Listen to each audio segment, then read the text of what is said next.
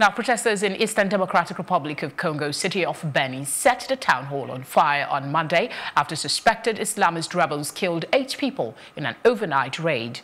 Rebels believed to belong to the Allied Democratic Forces, ADF, have killed more than 70 civilians in massacres since the Congolese army launched an offensive against them this month.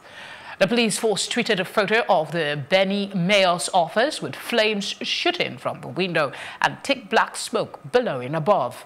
Security forces are working to re-establish public order.